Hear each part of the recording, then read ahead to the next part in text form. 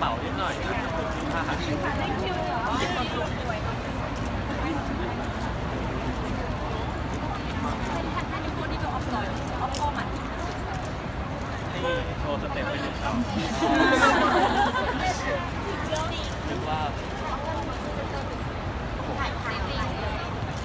ถ้าดูซีรีส์เกาหลีเยอะๆจะพูดได้แบบปฏิบัติ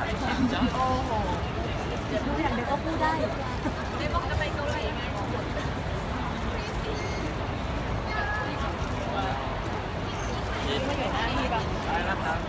anh nhớ